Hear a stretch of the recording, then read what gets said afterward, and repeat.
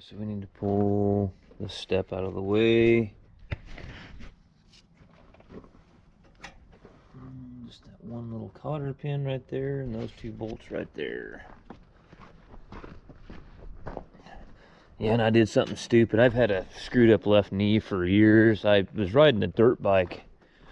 Years ago, I had a KX250, and I was in a gravel pit riding wheelie, and I dumped it and tore a ligament or something in my knee. And ever since then, I've had to be careful not jumping off shit. And well, I had my head up my ass yesterday and jumped off that dozer off the track, and my knee popped. And so now I'm hobbling around and I'm probably gonna have to just go to the VA and get set up so I can get insurance and that's probably what we're gonna wind up doing and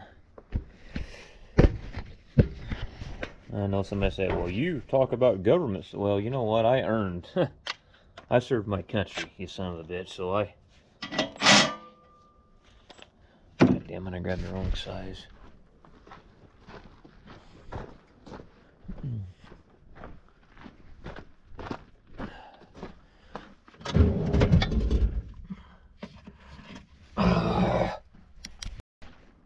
Let's get this step off of here.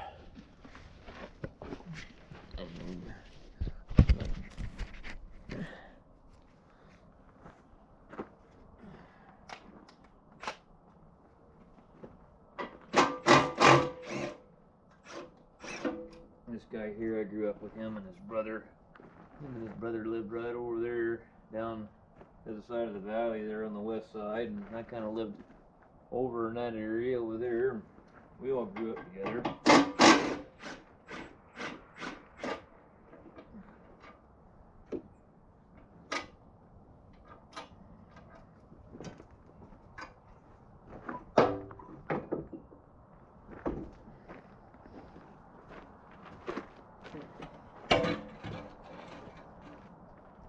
Let's see, do we need to get this one off too? That probably would Things a little bit easier to access if we got this out of the way. What's it take just to pull that little bracket off there?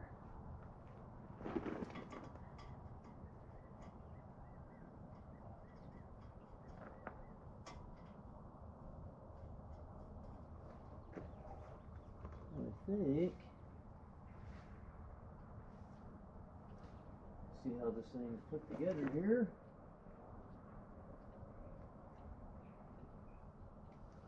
Hmm. Interesting. Looks like it's all part of that. I don't know if taking that.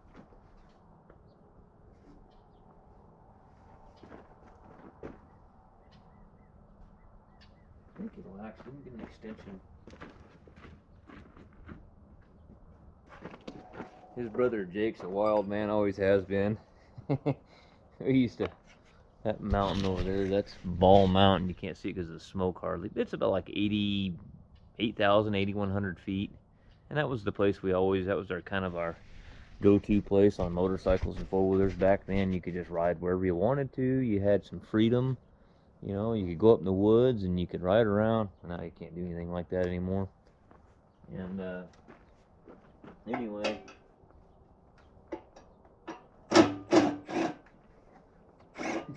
it was winter time and we all had four wheelers, you know, and Jake decided he was gonna ride up there on his motorcycle in the snow. you know what? He made it. He crashed about a hundred times on the way up the hill, crazy son of a gun. I'll never forget that. About every corner he'd get to, he'd dump it.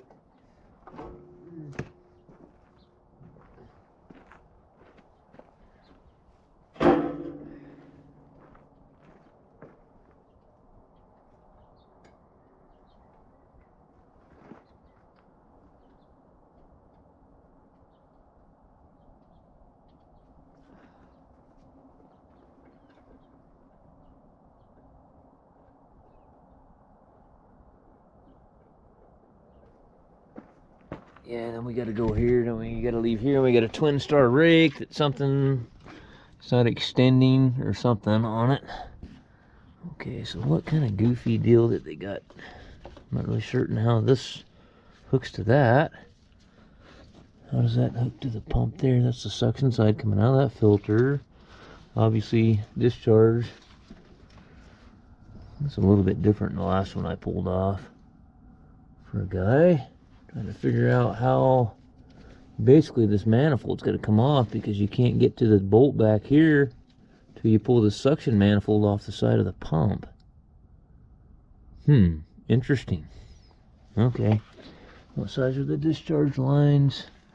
They look like about inch and a quarter. And we'll see if there's anything wrong with this pump. He's getting metal in the, it, the steering's getting tight on it and getting metal into the orbital motor on the steering motor.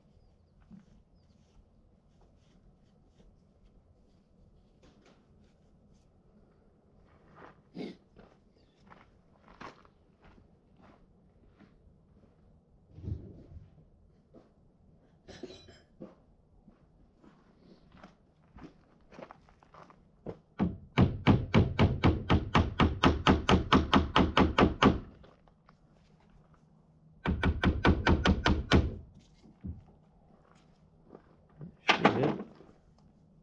That should pop off of there.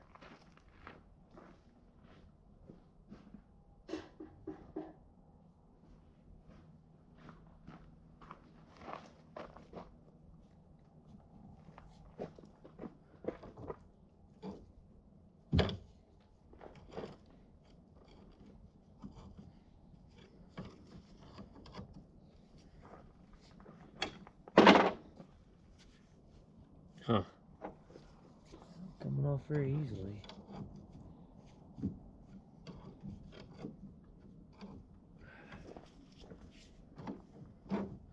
Yeah, if I don't see anything wrong with it, then we'll probably have to take it to the shop, put it in the solvent tank, get it all cleaned up, put it back on, come back out here to put it back together.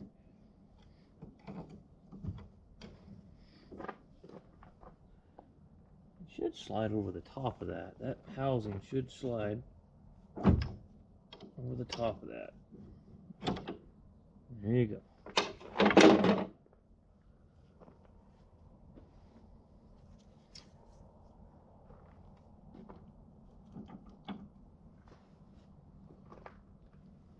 Let's see here.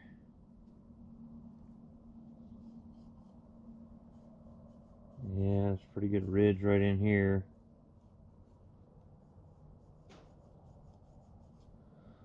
And then you can see where it's getting into the wear plates. Let me get another shop towel here.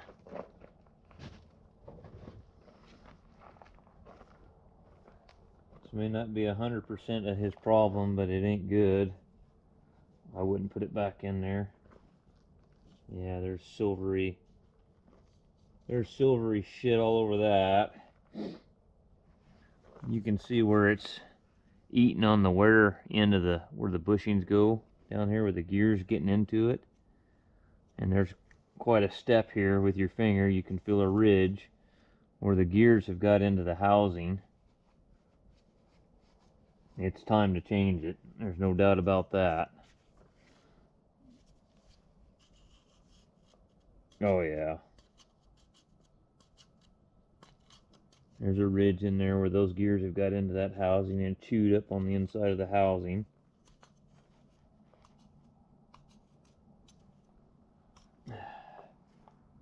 Yeah, he needs to get him another pump. And then they're eating, see where the see where they're eating into the end of the housing. The gears are eating into it down here too. I won't get able to pull that one as part of the shaft, but I can get this one here out. Yeah. This pump is garbage.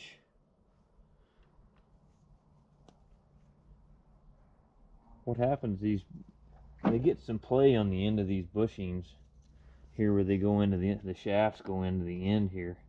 And see that see that end play? Well side to side movement there? That's all it takes on these. And then that gear gets into that housing then it's done. And these these aluminum housing pumps are pretty well shit. That's what they are. They're junk anytime I see an aluminum housing pump I know that I'm probably going to have problems with it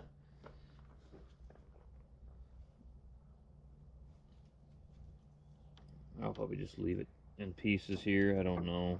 Maybe I'll I'll leave it in pieces where he can look at it when he gets it, but he'll probably watch the video knowing Josh. Well, I'm gonna go to the twin star rake now, put this up, call him, tell him to get a pump coming.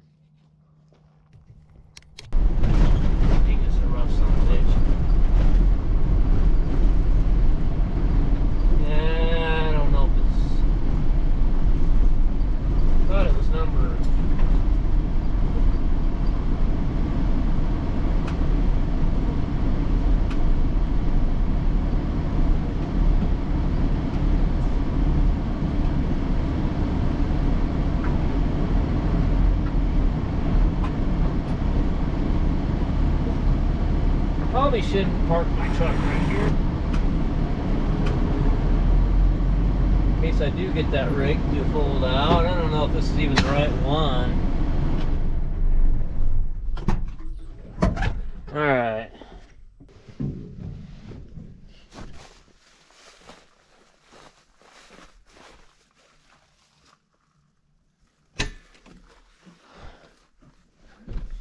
Okay.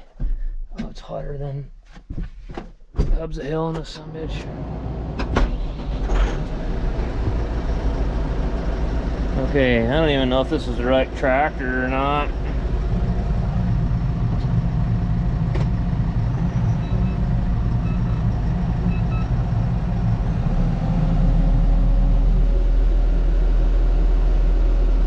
What's the caution light on for?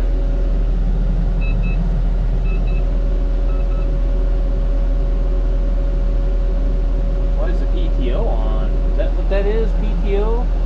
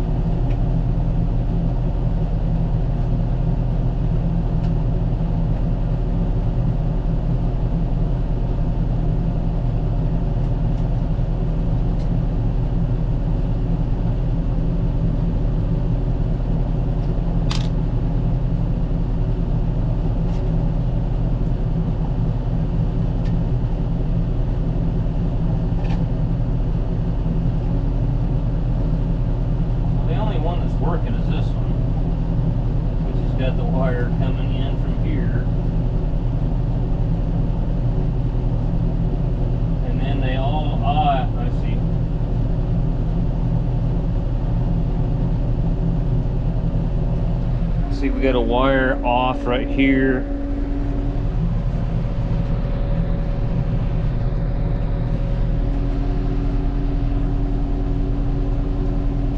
Where does it go?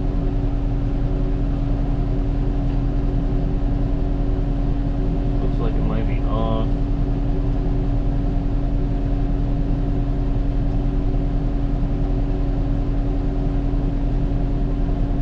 Partially off anyway.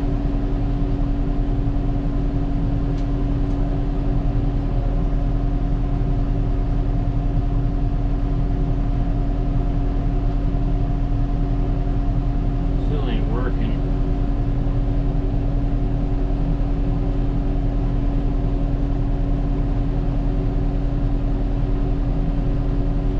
Hmm.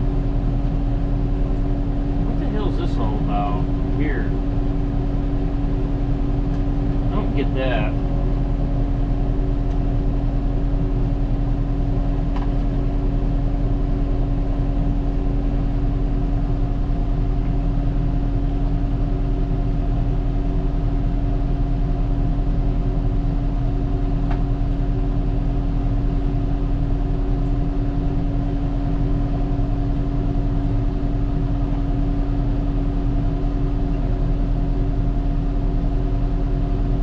Alright, I'm gonna test light out, see where I got power and where I don't. Alright.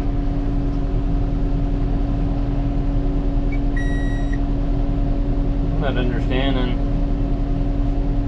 this whole fuse thing they got going on here. So that would be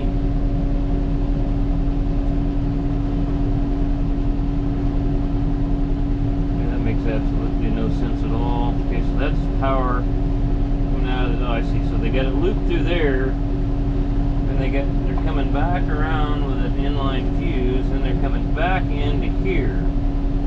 That's goofy. Okay. And that gets jumpered. And these should just jumper between the switches. The power feed.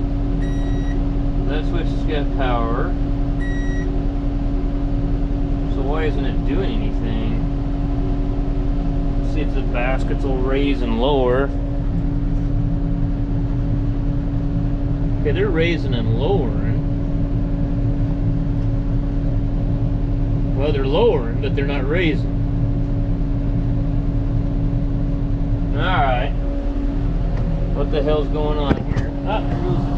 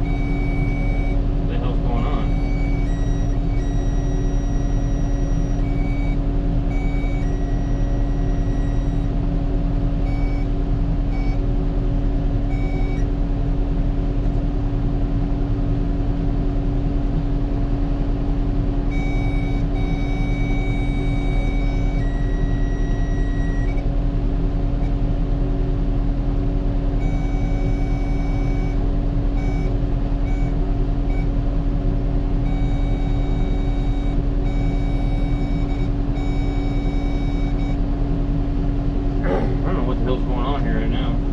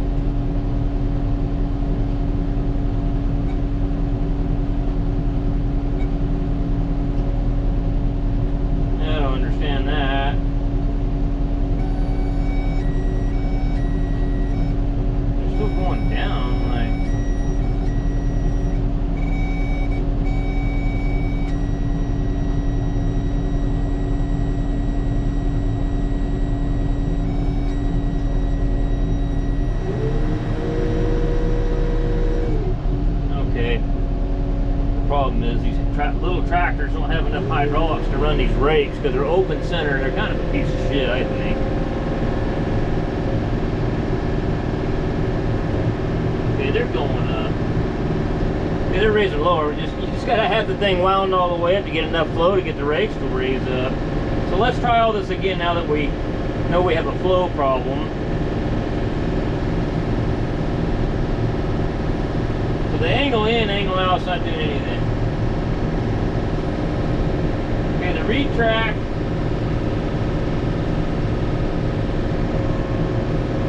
Okay, so that this one and this one are not working.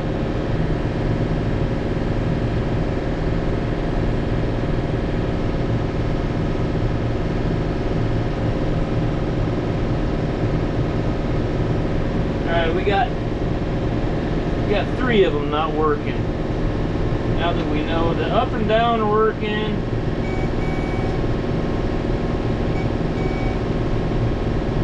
Obviously there's no power there. No power there.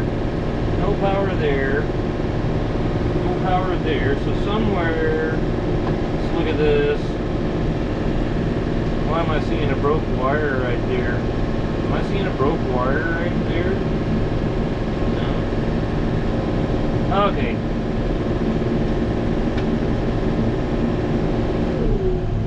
So the power comes it across. Kind of hard to make it out. There's so many wires everywhere. Jumps across. Should be jumping from this one to this one to this one. Okay, then it jumps to this one. We know that one's working. We know that this one is working. So this is going to be where our problem is. So it's jumping from this one to this one. So if we got power, no, got power there, but we don't have anything there. So the problem is right in here, and there's our problem right there. The wire's broke. Okay, I just seen it. These are about the worst connectors you could ever put on anything. Are these piece of shit connectors right here? Get a pair of needle nose pliers, pull that off. I'll show you what I do to these things.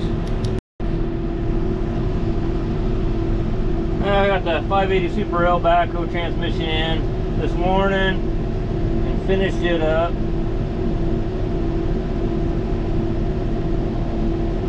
Where was that wire broke at? This one? Yeah.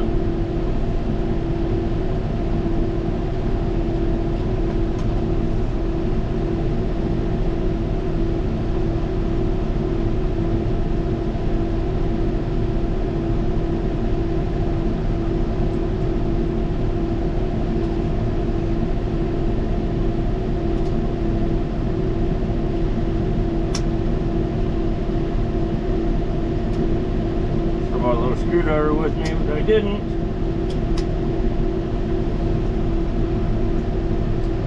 Take that piece of shit off and get rid of that.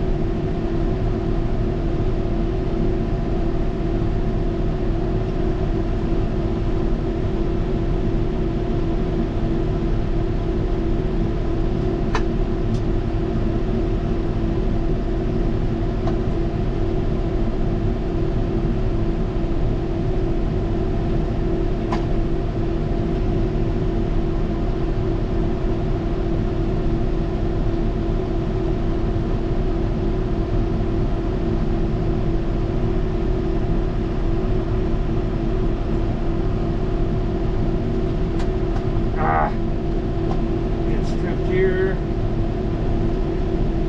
What I twist two of them together like that. A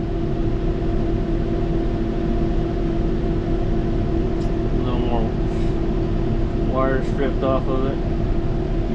Then I tie them together and then I put one butt connector on it. And they just work so much better.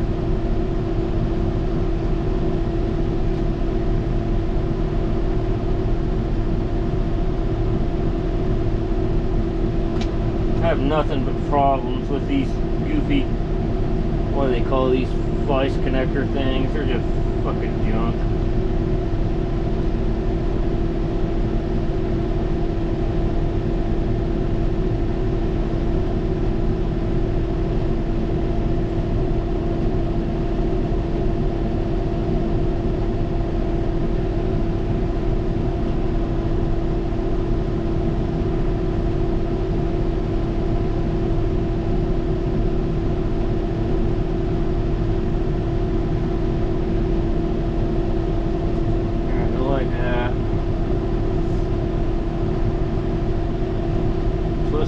together.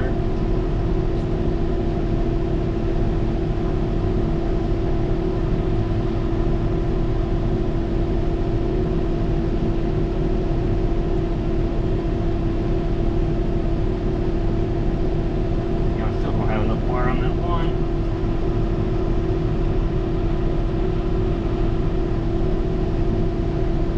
It's one of those things where you so many wires and shit here that you know screw up about four others trying to fix one. Everything's so close together. With my big old dick skinners in here.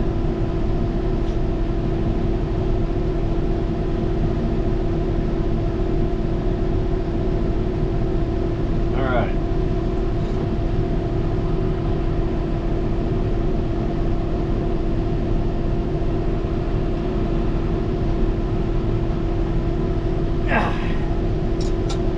Alright, so now I'll put this one back on over here.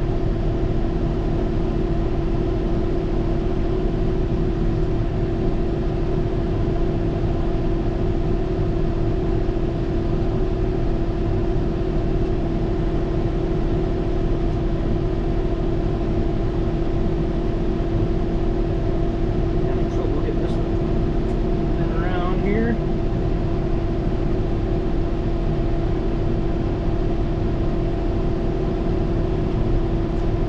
All right. Now, see what we got now.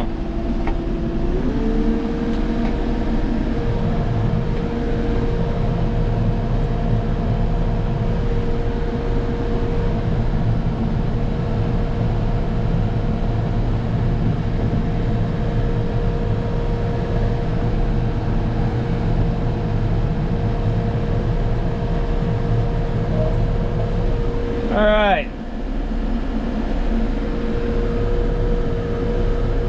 Everything's working. All right, guys. I'm gonna put this thing back together. I'm gonna fix this one wire that they got all screwed here.